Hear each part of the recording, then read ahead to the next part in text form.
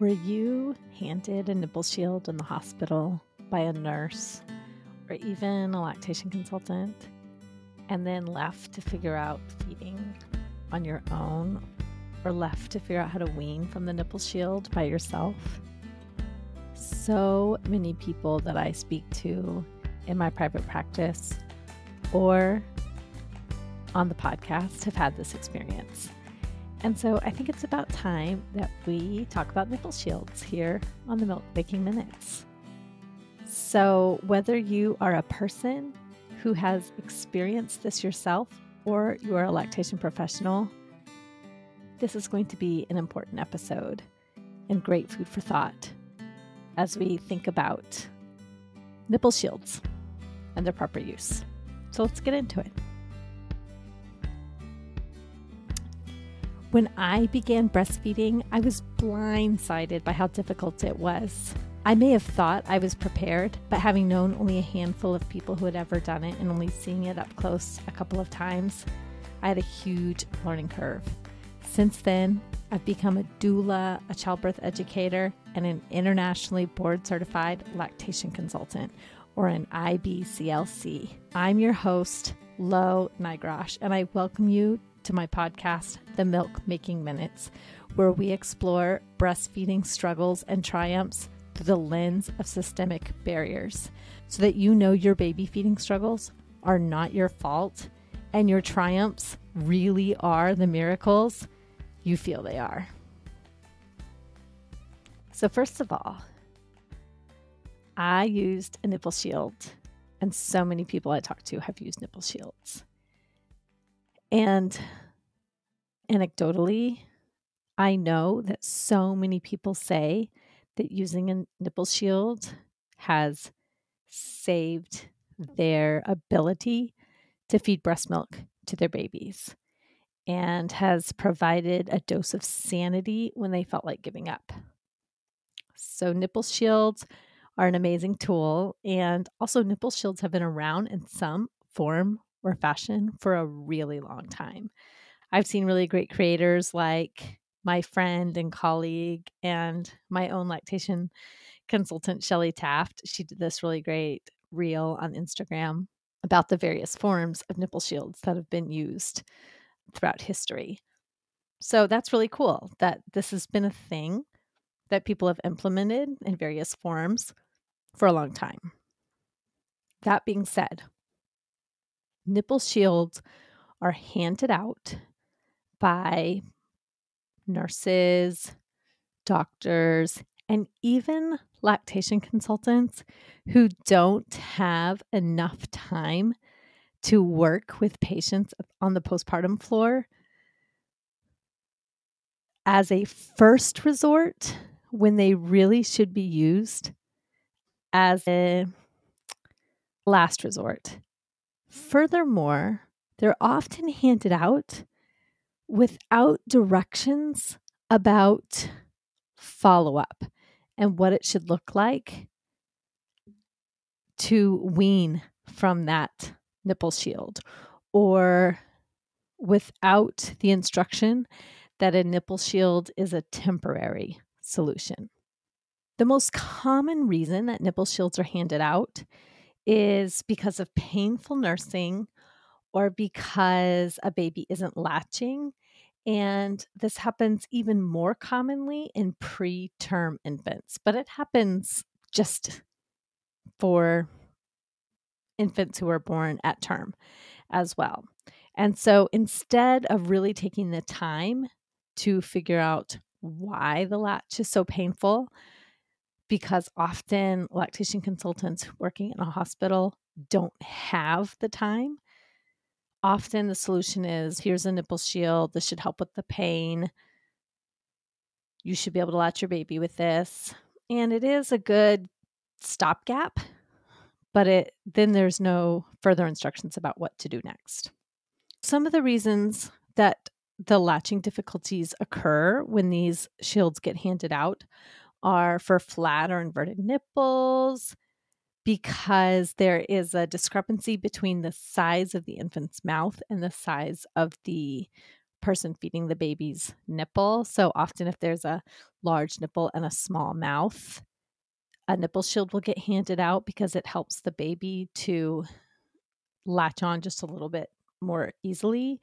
If there's been any sort of birth trauma or the infant has an oral aversion, sometimes a nipple shield will get handed out because having that extra layer allows the infant to more easily take in the nipple. Or if they have developed a preference for an artificial nipple, then sometimes the nipple shield will allow them to latch to the nipple a little more easily.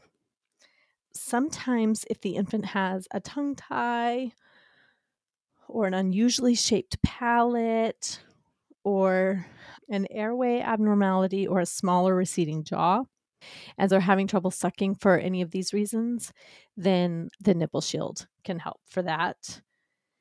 If the parent is dreading nursing because the pain is so bad, then that might be a reason to use a nipple shield at least temporarily. And if there's overabundant milk supply right off the bat, and the baby is having trouble managing that milk flow, then the nipple shields can be a way to deal with that while you get the milk flow under control. And sometimes, if there's a history of sexual abuse in the parent, having that nipple shield can be a way to create just a barrier between the person's body and the baby and sometimes that can be just enough to allow the person to feed the baby with their body if that is something they are interested in doing. So, if they've expressed an interest but are also a little bit fearful, then the nipple shield might be a bridge.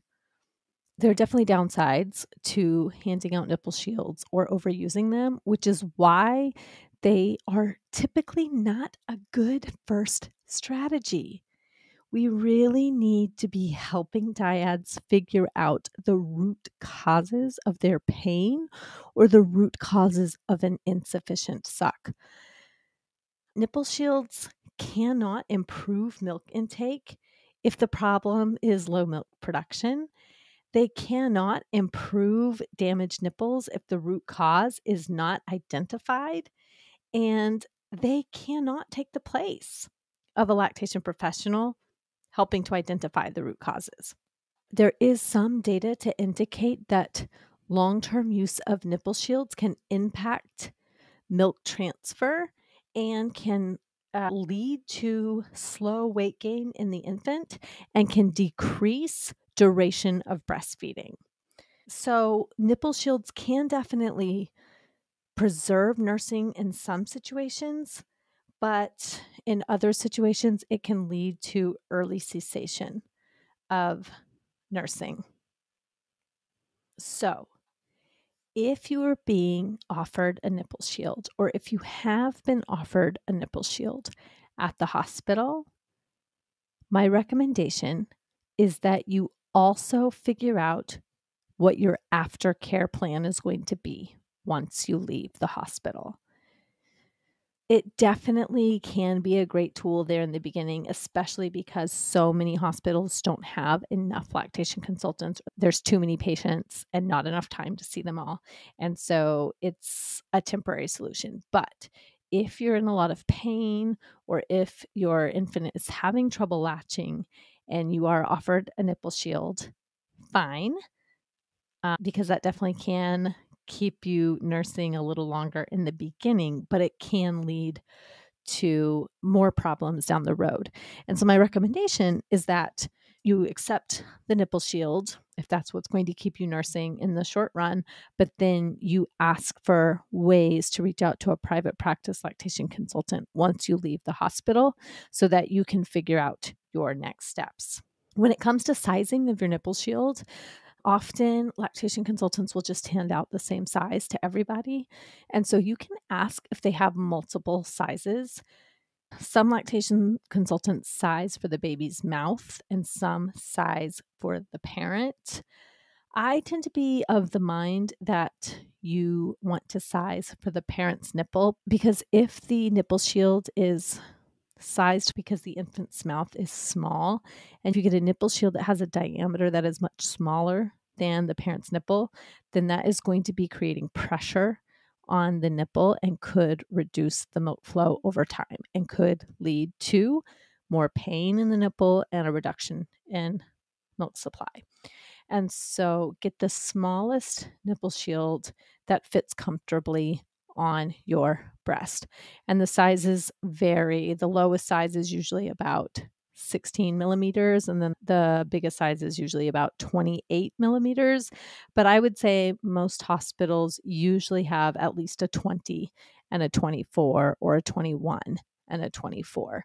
Usually you have two sizes to choose from. So if you get the 24 and it feels a little big, you can usually ask for one size down at least it is really important when you are latching your baby onto the nipple shield that you are still working on getting that deep latch and that the shield is going way back into the baby's mouth because that is going to trigger a stronger suck in the baby. And that is going to lead to longer durations of nursing, which is going to increase your milk supply over time. And if the baby becomes accustomed to latching more shallowly on the nipple shield, then even if it doesn't hurt as badly because there's a barrier there, it's going to be harder for the baby to latch properly once you try to wean from the shield. And then the skill is going to have to be retaught, and it will make that next step way more challenging. Once you've used the shield for a little while, reach out to a private practice lactation consultant. Let them know you've been using a shield and you would like to figure out your next steps for weaning. Now, even before that, or as you're trying to figure out who you are going to work with, my recommendation is that you make your bare breast or bare chest a really comfortable cozy, stress free place for your baby to be. So, as much skin to skin time as you can possibly provide your baby, even when you're not feeding. So, they associate your bare body with comfort and they don't associate it with stress. And then they might especially during sleepy times or times when they're feeling extra cozy and times when they're not super hungry, they may begin to nuzzle up and try to start latching even without that shield. And that's great. So you can start trying to do some non shield latches. You could start with putting on the shield, and then once that initial milk release begins, you can remove the shield and then see if baby will go back on once they've had that initial fill of milk. But some babies, they're not so easily tricked. And so you can make sure they get a feeding. And then once they aren't really hungry anymore, you can lay there skin to skin, take off the shield, and see if they would like to just nurse for comfort without the shield. And then, same thing, sometimes you can do some dream feeds or some sleepy time feeds without the shield. So lay next to the baby while they're sleepy, present your bare body to them, and see if they will latch on in a kind of sleepy state before they have woken up fully aroused and hungry. And they may take your bare body and nurse without that barrier of the shield. Some babies, take to this really quickly and the transition is really smooth. Some babies, it might take even a couple of months to make that transition. And if you're trying this on your own and it's just not working, there may be something going on anatomically with your baby that is making nursing without the shield really difficult. And that is really when I would highly suggest you work with a lactation consultant who can help you determine what your next steps should be. With that being said, if you are looking for a lactation professional who can help you wean from a nipple shield or with any other difficulty that you might be having, I would love to be the person who helps you tune into your body and your baby and build your self confidence. You can find all of my information at www.quabbinbirthservices.com. It's linked in the show notes. And in most cases, I can bill your insurance or at the very least provide you a super bill for reimbursement. And if this podcast has helped you, please rate and review it on your favorite podcasting app and share it with a friend. Thanks. Bye.